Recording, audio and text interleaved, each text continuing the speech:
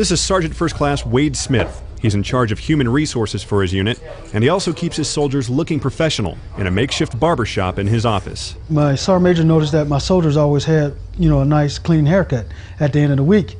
So he's like, "Hey, who's who's cutting hair?" And I tell him, "Hey, I am sergeant major." To say the least, Sergeant Smith has an eclectic array of skills. When he's not giving free haircuts to soldiers, you can find him outside teaching soldiers how to shoot a bow. I teach them, you know, the fundamentals: how to stand, how to draw, how to shoot. And uh, once I've done that, most people want to come back for more. Archery is more than a hobby for Sergeant Smith. I have a little piece of home, and I know once I go out and shoot, that I can focus on something that I want to achieve, which is, you know, the bullseye, I guess, from here. Airman Jimmy Moreland, Southern Afghanistan.